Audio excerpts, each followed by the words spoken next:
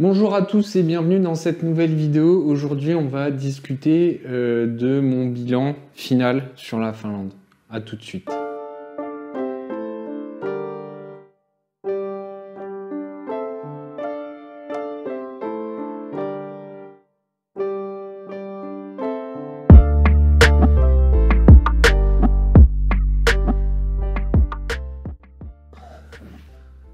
À tous et bienvenue dans cette euh, nouvelle vidéo. Aujourd'hui, on va du coup discuter des trois raisons pour lesquelles.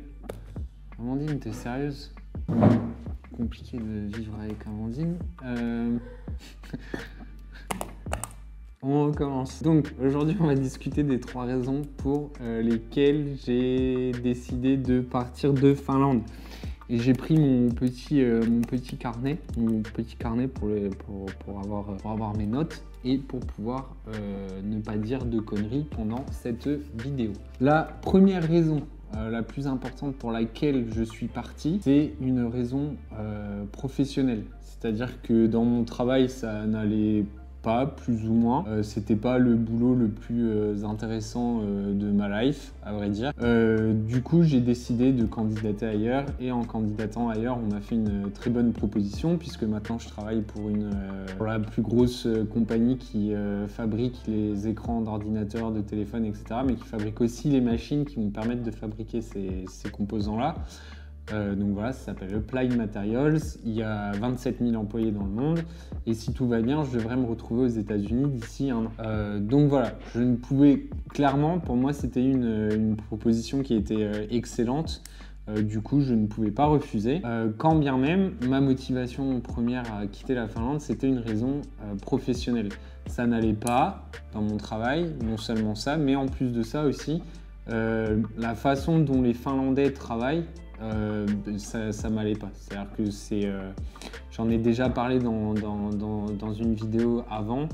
Euh, les Finlandais sont voilà, cool. On va dire que les méthodes de management, etc., sont très très cool.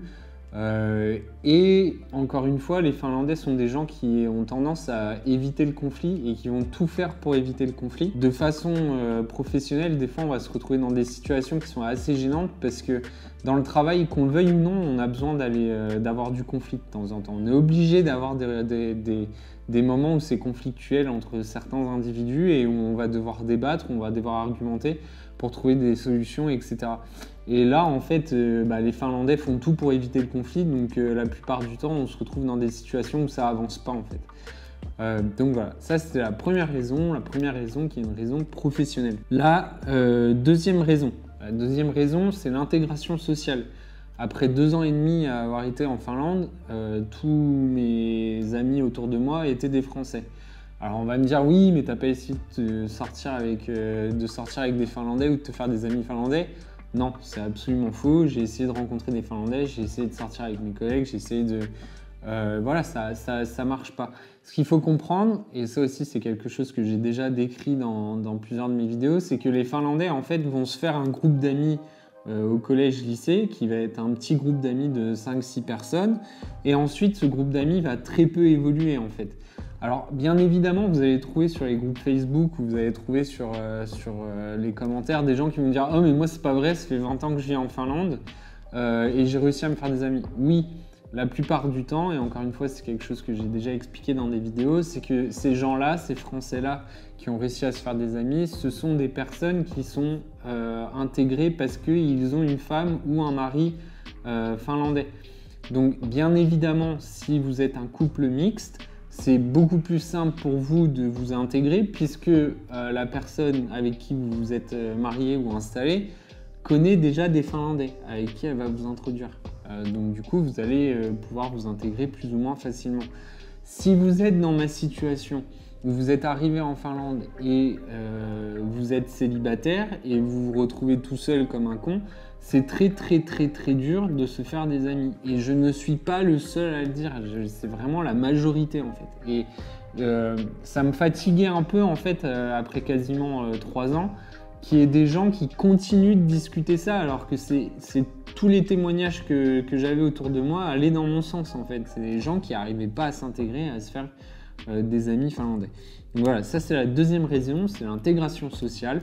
Sachez que si vous allez en Finlande, c'est très très dur voilà, de se faire un groupe d'amis et d'entretenir des relations, des relations amicales avec des gens il y a clairement une différence entre la culture latine et la culture nordique. Voilà, c'est comme ça et c'est pas autrement. Euh, la dernière chose euh, pour laquelle, la dernière raison pour laquelle euh, j'ai décidé de partir, et c'est peut-être la raison, la, deuxième raison la plus importante, c'est le climat. J'arrivais tout simplement pas à m'adapter au climat et au manque de lumière surtout. Le, climat froid, ça me dérangeait pas. Ce qui m'a le plus dérangé en fait, c'est le manque de lumière et de ne pas pouvoir. Clairement, mon corps ne s'est pas habitué en fait à ce manque de lumière en fait. Euh, vous allez passer 3-4 mois de, l'année où euh, bah, vous n'avez pas de lumière en fait, vous n'avez vraiment pas de lumière. Alors, quand on a déménagé à Amsterdam, il y a des gens qui me disent Ah non, mais euh, aux Pays-Bas, il n'y a pas de lumière. Ah, non, c'est incomparable.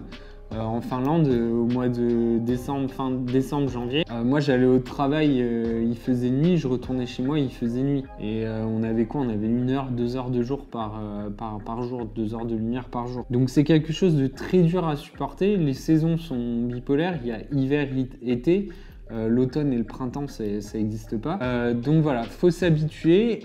J'ai fait le test des deux hivers les Finlandais appellent ça, je crois, le test des, le test des quatre saisons euh, pour été-hiver, été-hiver, puisqu'ils considèrent qu'ils ont que deux saisons. Euh, moi, j'appelle ça le test des deux, deux hivers, c'est-à-dire qu'il faut, les gens vous le disent là-bas en fait, pour savoir si vous allez vous acclimater, il faut faire deux hivers pleins. Faites deux hivers pleins, ça vous permettre de savoir si votre corps euh, s'habitue, si vous arrivez à vivre avec ça. Jour après jour, quand l'hiver commence, il y a le, temps de soleil qui diminue, le temps de luminosité qui diminue, et quand l'été approche, le temps de luminosité augmente. Et vous allez voir en faisant ces deux hivers si vous, êtes, euh, si vous pouvez vous adapter ou pas. Personnellement, je ne me suis pas adapté. J'arrivais pas à, vivre avec ce manque de lumière. Donc voilà, ce sont les trois raisons pour lesquelles euh, j'ai décidé de, de, partir de Finlande. Nous avons décidé, puisqu'Amandine a décidé de me suivre aussi. Euh, ce que je pourrais dire pour euh, certains Français qui veulent sauter le pas et qui veulent aller en Finlande, je ne dis pas que la Finlande est un pays où il ne faut pas aller. Je dis juste que c'est un pays qui est très popularisé. On va pas arrêter de dire la Finlande le pays le plus heureux du monde. Donc ça aussi c'est quelque chose que j'ai débunké dans une vidéo que je vous invite à aller voir. Voilà, la, la Finlande a un côté très attractif. On n'arrête pas d'en parler. On n'arrête pas de dire que c'est très très bien. Mais il faut faire attention. Il y a des choses qui ne sont pas vraies. Le système euh, de santé, à mon avis, est largement meilleur en France. Le système social, à mon avis, est largement meilleur en France. Euh, l'éducation est meilleure en Finlande. Peut-être. Et encore, euh, pour avoir travaillé avec des Finlandais, moi je, dirais que ça se, ça, se, discute en fait sur certaines choses. Donc voilà. Pour, pour des familles qui sont euh, avec des enfants qui sont assez jeunes, qui peuvent apprendre la langue, etc. La Finlande, je pense que c'est un pays parfait. On a envie d'y aller, on va y aller 4-5 ans, on va faire son expérience, on y va en famille, etc. Parce l'avantage d'être en famille, c'est que vous pouvez ne pas avoir d'amis, vous vous en fichez, vous avez votre famille en fait. Vous êtes tout le temps avec votre famille. Euh, c'est, bien évidemment, c'est mieux d'avoir une vie sociale à côté de votre famille, toujours est-il que si vous déprimez, vous avez toujours votre femme ou votre mari ou vos enfants pour essayer de vous remonter le moral. Euh, si vous êtes célibataire et que vous y allez juste euh, pour euh, une carrière ou des trucs comme ça, moi je vous conseille pas. Voilà.